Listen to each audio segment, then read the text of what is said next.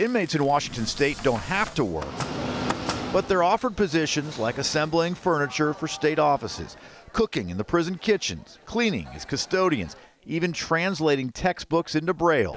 They are paid, but unlike the outside world, most don't make anywhere near minimum wage. When I was incarcerated, I was paid 42 cents an hour. Theft and drug charges resulted in Tarra Simmons getting a 30 month sentence in 2011.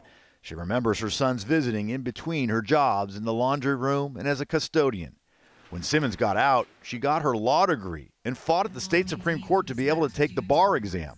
Today, she's a state legislator and has proposed paying inmates minimum wage. The 13th Amendment to the United States Constitution um, prohibited slavery except for um, for people convicted of a crime. And so this is an evolution of um, slavery and um, it's our way that we are able to do that now legally and I think it needs to be eliminated. Line's moving. Line moving. 9 north, 2 west. Currently, inmates who are trained to fight wildfires do get paid whatever the minimum wage is in the county where they're working, but they are the exception.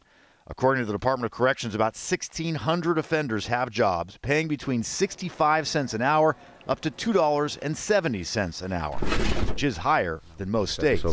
Under Simmons's bill, half the money made would go towards savings accounts that inmates would not be able to access until they are released. She says that would be empowering. If people can leave with enough money to have transportation, housing, clothing, food, and potentially some job training, uh, you know, hopefully they will have a better chance at not coming back. How much this would cost the state and where that money would come from is something Representative Simmons says legislators will work on once they reconvene back in Olympia in January. I spoke with Republican Senator Phil Fortunato. He says this idea doesn't make any sense to him.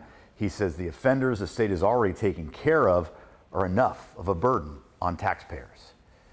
In Tumwater, Drew Mickelson, King 5 News.